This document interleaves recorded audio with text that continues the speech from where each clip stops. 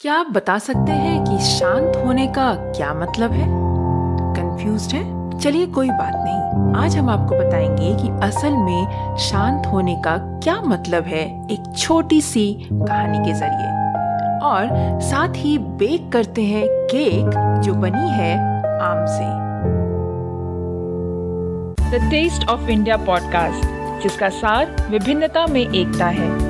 जहाँ भारत की सांस्कृतिक विभिन्नता को हम स्वादिष्ट व्यंजनों के माध्यम से एक सूत्र में बांधेंगे। इस कुकरी शो से अब आप बिना कंप्यूटर या बिना किताब छुए फ़ोन के माध्यम से अपने ही किचन में इन स्वादिष्ट रेसिपीज़ को सुनते हुए बना सकते हैं। इन रेसिपीज़ को आप हमारे website the taste of India dot com पर भी पढ़ सकते हैं। नमस्कार the taste of India podcast के इस नए एपिसोड में मैं पूजा और मैं दिलीप। आप सबका हार्दिक स्वागत करते हैं। एक राजा था जिसे पेंटिंग से बहुत प्यार था। एक बार उन्होंने अपने सेनापति से कहा कि राज्य में ये घोषणा करवा दी जाए कि जो कोई भी उसे शांति को दर्शाती हुई पेंटिंग बनाकर देगा वो उसे मुँह मांगा इनाम देंगे। फैसले के दिन एक से बढ़कर एक चित्रकार इनाम जीतने की लालच में अपनी अपनी पेंटिंग लेकर राजा के महल में पहुँचे। राजा ने एक एक करके सभी पेंटिंग देखी और उनमें से दो पेंटिंग को अलग रखवा दिया। पहली पेंटिंग एक अति सुंदर शांत झील की थी। उस झील का पानी इतना साफ़ था कि उसके अंदर की सतह तक नज़र आ रही थी और उसके आसपास मौजूद पहाड़ों की छवि उस पर ऐसे उभर रही थी मानो कोई दर्पण रखा हो। ऊपर की ओर नीला आसमान था, जिसमें रुई के गोलों के समान सफ़ेद बादल तैर रहे थे। जो कोई भी इस पेंटिंग को देखता, उसको यही लगता कि शांति को दर्शाने के लिए इससे अच्छी पेंटिंग तो हो ही नहीं सकती। दूसरी पेंटिंग में भी पहाड़ थे, पर वे बिल्कुल रूखे, बेजान थे, वीरान थे, और इन पहाड़ों के ऊपर घने गरजते बादल थे, जिनमें बिजलियाँ चमक रही थी। घनघोर वर्षा होने से नदी उफान पर थी। तेज हवाओं से पेड़ हिल रहे थे और पहाड़ी के एक ओर स्थित झरने ने रौद्र रूप धारण कर रखा था। जो कोई भी इस पेंटिंग को देखता था, यही सोचता कि भला इसका शांति से क्या लेना देना। इसमें तो बस अशांति ही अशांति है। सभी निश्चिंत थे कि पहले पेंटिंग बनाने वाले चित्रकार को ही इनाम मिलेगा। और तभी राजा अपने सिंहासन से उठे और ऐलान किया। दूसरी पेंटिंग बनाने वाले चित्रकार को वह मुँह मांगा इनाम देंगे। हर कोई आश्चर्य में था। ये सुन पहले चित्रकार से रहा नहीं गया। वह बोला, लेकिन महाराज, उस पेंटिंग में आखिर ऐसा क्या था जो आपने उसे इनाम देने का फैसला किया? जबकि हर कोई यही कह रहा था कि मेरी पेंटिंग ही शांति को दर्शाने के लिए सर्वश्रेष्ठ है। राजा ने कहा, आओ मेरे साथ। और ये बोलते हुए राजा चित्रकार को अपने साथ लेते चलते हैं। दूसरी पेंटिंग के समक्ष पहुंचकर राजा बोले, झरने की बाई और हवा से एक तरफ़ झुके इस वृक्ष को देखो। देखो, इसकी डाली पर बने इन घोंसलों को देखो। देखो, कैसे एक चिड़िया इतनी कोमलता से, इतने शांत भाव व प्रेम से पूर्ण होकर अपने बच्चों को भोजन करा रही है। फिर राजा ने वहाँ उपस्थित सभी लोगों को समझाया। शांत होने का मतलब ये नहीं है कि आप ऐसे स्थिति में हो जहाँ कोई शोर नहीं हो, जहाँ कोई समस्या नहीं हो, जहाँ कड़ी मेहनत नहीं हो, जहाँ आपकी परीक्षा नहीं हो। शांत होने का सही अर्थ है कि आप हर तरह की अव्यवस्था, अशांति, अराजकता के बीच में होते हुए भी आप शांत रहें। अपने काम पर केंद्रित रहें, अपने लक्ष्य की ओर अग्रसित रहें। अब सभी समझ चुके थे कि दूसरी पेंटिंग को राजा ने क्यों चुना है। तो दोस्तों, ऐसा कभी नहीं हो सकता कि हमारे इर्द गिर्द सब कुछ सही हो, सब कुछ अच्छा हो और सब कुछ इतना शांत हो कि हम उस शांति का मज़ा लेते हुए अपना काम कर सके। हमारे इर्द गिर्द हमेशा हमेशा प्रॉब्लम्स रहेंगे। हमेशा अव्यवस्था रहेगी, अशांति रहेगी। मगर ये मायने रखता है कि उस अशांति में आप कितने शांत हैं। आप कितने अपने गोल्स अपने लक्ष्य की ओर कितनी केंद्रित होकर के, कितनी फोकस्ड होकर के आप अपने लक्ष्य की ओर बढ़ रहे हैं। इसी को शांति कहते हैं। तो समझ गए ना? शांति का मतलब क्या होता है? अब तक तो समझ गए होंगे।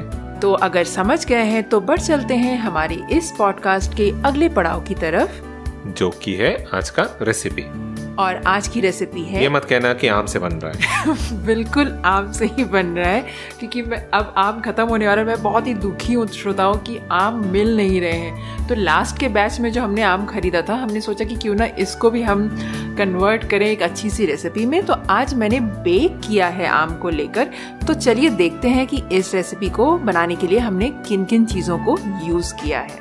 But before that a quick word for our sponsors.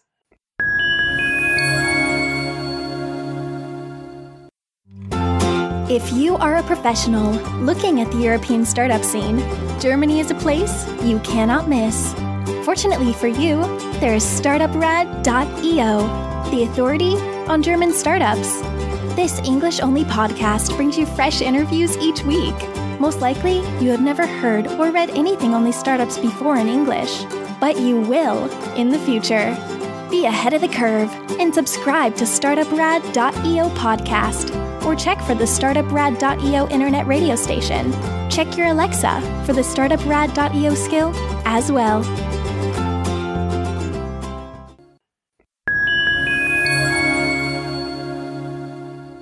Now, let's get on to the ingredients for today's recipe. तो आज की रेसिपी बनाने के लिए सबसे पहले मैं बताना चाहूँगी कि आज की रेसिपी है मैंगो केक तो इसको बनाने के लिए जो है हमने यहाँ पर लिया है एक कप सूजी एक कप आम का पल्प हाफ़ कप जो है चीनी लिया है एक टीस्पून बेकिंग पाउडर तीन चौथाई कप दूध एक चौथाई कप तेल फ्लेवरलेस ऑयल लेना है यहाँ पर और एक चौथाई कप बादाम का so the ingredients for mango cake is 1 cup suji, 1 cup mango pulp. You'll be needing approximately 1 cup of pulp, half cup sugar, 1 teaspoon baking powder, 3 4 cup milk, 1 4 cup oil and 1 4 cup almonds. तो आइए देखते हैं कि इस recipe को बनाते कैसे हैं इस रेसिपी को बनाने के लिए हमें जो है सबसे पहले क्या करना है कि मिक्सर ग्राइंडर में मैंगो लेंगे और साथ ही साथ हम शुगर डालेंगे और उसके बाद इन दोनों चीज़ों को बिल्कुल स्मूथ ग्राइंड कर लेंगे पेस्ट बना लेंगे और इसको आप साइड रख दें। उसके बाद हमें मिक्सर ग्राइंडर फिर से लेना है, जिसमें कि हम डालेंगे सूजी और उसको भी हम फाइन पाउडर में ग्राइंड कर लेंगे। अगर तो आपको रवा मिलता है, जो कि आजकल मार्केट में मिलता है, बिल्कुल फाइन किया पाउडर वाला रवा, अगर वो मिलता है, तब तो आपको ग्राइंड करने की ज़रूरत नहीं है। बट अगर आप नॉर्मल रवा यूज़ कर रहे हैं यहाँ पर तो आप उसको ग्राइंड कर लें तो बेहतर होगा। उसके बाद हमें क्या करना है कि सूजी में हम डालेंगे तेल और मैंगो जो हमने पेस्ट बनाया अभी अभी, वो डालेंगे और इन सारी चीज़ों को डालकर हम अच्छे से मिक्स कर लेंगे और हम डालेंगे फिर उसमें आधा कप दूध का और फिर से एक बार मिक्स कर लें। उसके बाद इस मिक्सचर को हम तकरीबन 30 मिनट तक रेस्ट करने के लिए छोड़ देंगे। 30 मिनट के बाद हमें इसमें डालना है बेकिंग पाउडर और बचा हुआ जो दूध है वो डाल देंगे और उसके बाद इसे आ, मिक्स कर देंगे। याद रखें कि बेकिंग पाउडर जब आप डाल देंगे उसके बाद इसे ज़्यादा मिक्स ना करें नहीं तो आपका केक जो है बिल्कुल हैवी बन जाएगा। तो उसके बाद हमें क्या करना है कि इस मिक्सचर को हमें पोर करना है। तो पोर करने के लिए हमें क्या करना है कि एक टिन लेंगे बेकिंग टिन जिसमें कि हमें तेल अप्लाई करना है अच्छे से चारों तरफ़। और उसके बाद उसमें थोड़ा सा आटा डालकर चारों तरफ़ फैला लें और उसके बाद जो एक्सेस आटा है उसमें उसको टैप करके हटा दें। यहाँ पर अगर आप ये प्रोसेस नहीं फॉलो करना चाहते तो आपको, आपके पास अगर बटर पेपर है तो आप वो यूज़ कर सकते हैं इसमें। और उसके बाद क्या करना है कि हमें इस बैटर को इसमें पोर कर देना है। पोर करने के बाद हमें जो है इसे बेक करना है और बेक करने से पहले हमने जो यहाँ पर आपको बताया था कि यहाँ पर हम, मैंने आमंड यूज़ किया है तो आप आमंड यूज़ कर सकते हैं चॉप किए हुए इसके ऊपर स्प्रिंकल कर दें। और अगर आप कोई भी दूसरे नट्स का इस्तेमाल करना चाहते हैं तो आप दूसरे नट्स का इस्तेमाल कर सकते हैं। इवन आप चाहिए तो टूटी फ्रूटी का इस्तेमाल कर सकते हैं इस रेसिपी में। तो जो भी आपको अच्छा लगता हो, वो आप डाल सकते हैं और उसके बाद हम इसे बेक करेंगे। बेक करने के लिए हमें जो है अवन ओवन को प्री हीट कर लेना है 180 डिग्री पर और इसके बाद हमें इसे बेक करने के लिए डालना है। तकरीबन 55 मिनट में आपका केक बेक होकर तैयार हो जाएगा। आपको बीच बीच में एक बार बंद करके आप चाहें तो चेक कर सकते हैं कि आपका केक कितना पका है एक टूथपिक की सहायता से। और जब आपका केक बेक हो जाए, तब उसे आपको बिल्कुल ठंडा हो, हो जाने देना है। ठंडा होने के लिए आपको जो वायर मैश आता है उसके ऊपर इस केक टिन को रखें और इसको ठंडा होने दें। तकरीबन एक घंटे लग जाते हैं केक को अच्छे तरीके से ठंडा होने में। और ठंडा होने के बाद इसको निकालिए और कट कीजिए और इंजॉय कीजिए। So the method of preparation for the recipe First, take a mixer grinder and add the mango pulp and sugar and grind it to a smooth paste. Then set it aside. Then grind suji in a mixer grinder to a fine powder and add oil and mango pulp to the suji and whisk it well. Now add half cup of milk and mix everything well. Cover the mixture and set it aside for about 30 minutes. After 30 minutes, add baking powder and mix it well. Just ensure that you're not over mixing it because then your cake will be a little too dense. Then add the leftover milk and mix it well. The cake batter consistency should be thick, it should not become very loose. Now pour the mixture in a greased baking tin and bake it in a preheated oven at about 180 degrees centigrade for about 55 minutes. Once the cake is baked, take the tin out and take the cake out of the tin and keep it on a wire mesh for about an hour until it gets cooled down completely. Your tasty mango cake is ready to be served. Cut and enjoy. दोस्तों I hope कि आपको आज की recipe अच्छी लगी और अगर तो आपको कहीं भी समझने में इस रेसिपी को दिक्कत हुई हो तो आप हमारे website the taste of India dot com पर विज़िट कर सकते हैं और वहाँ पर स्टेप बाय स्टेप रेसिपी के मेथड आप फॉलो कर सकते हैं ताकि आप और अच्छे से अच्छा केक बना पाए That is right. And that is all that we have for today. That's all for today, Dilip. So don't forget to visit thetasteofindia.com for the printable recipe card, the show notes, and also the step by step pictures of this recipe. If you have any questions or comments, you can post it in there, and we'll be happy to respond to your questions. The Taste of India podcast is available on pretty much all podcasting platforms, including Apple Podcast, Google Podcast, Spotify, JioSavan, Ghana, Karma 2.0, and Amazon Prime Music as well pick your favorite platform and give it a listen in there. And if you like this podcast, don't forget to share it with your friends and your relatives.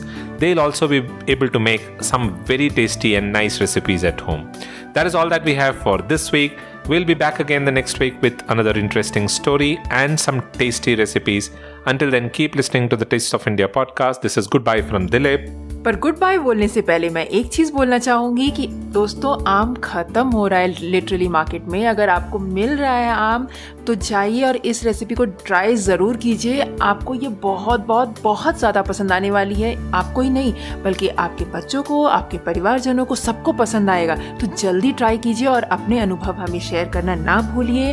तो इस बात पर good bye from Puja. You all have a wonderful rest of the week